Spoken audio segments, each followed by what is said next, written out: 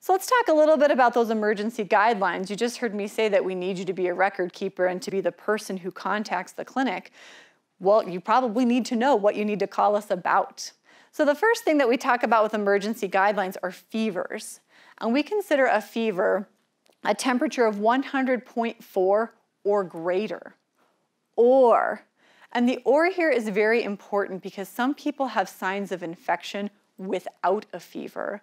And so those other signs in absence of a fever would be um, shaking chills, bone pain, any pain while urination. As the caregiver, if you look over at this line and you notice it's red and swollen and maybe something's oozing out of it, um, or just overall feelings of unwellness can all be early signs of an infection. And even if you don't have a fever, there's something we're gonna want you to give us a call about so we can help direct your next moves. Um, another emergency would be uncontrolled nausea, vomiting, or diarrhea. Dehydration can happen very quickly, even with those home IV fluids.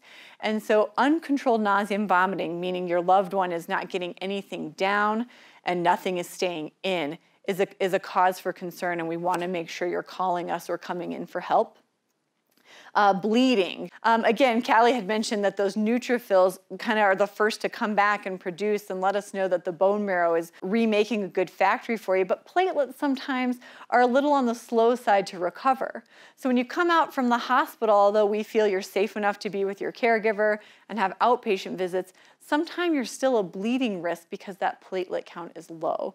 So just as much as walking past a table or a corner and bumping your arm can cause a big bruise or a problem, and we wanna make sure you let us know that that is happening. Changes in mental status. Now, this is one of the reasons we really adore our caregivers and we appreciate them, is that you guys know your loved one better than we do. We care for them, we want them to do well, but you are the ones who know how they behave on a day to day basis. So if you're sitting with your loved one and all of a sudden they look out the window, they've been totally fine all day, and they say, Boy, I just love the French Riviera in the winter. That's a problem.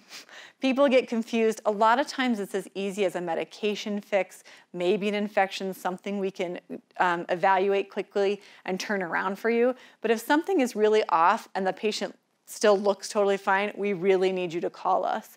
Obviously, if they're difficult to wake up, they're having trouble breathing, um, something is really wrong, we want you to call 911 um, and they'll bring you here to our hospital.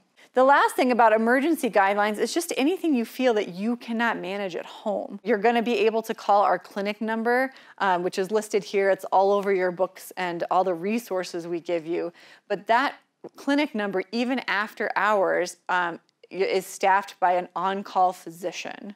So if you call after hours, you're going to get put through to an operator who's going to tell you who's on call and take your number, and a physician will call you back and help answer your questions. So please don't hesitate to use those resources. That's why we have them available.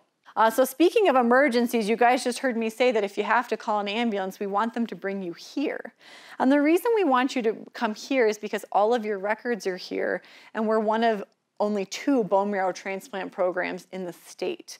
Um, so when you leave the hospital, you're going to be given one of these um, bone marrow transplant uh, oncology alert emergency cards. I always recommend for caregivers, especially if you have multiple caregivers, it's, you know, put a hole punch through this, put it on a lanyard, hang it on the fridge, keep it in the patient's purse or wallet, something that's gonna go with you all the time. Because if you have to come to the emergency room, even our emergency room staff is always on alert for our patients.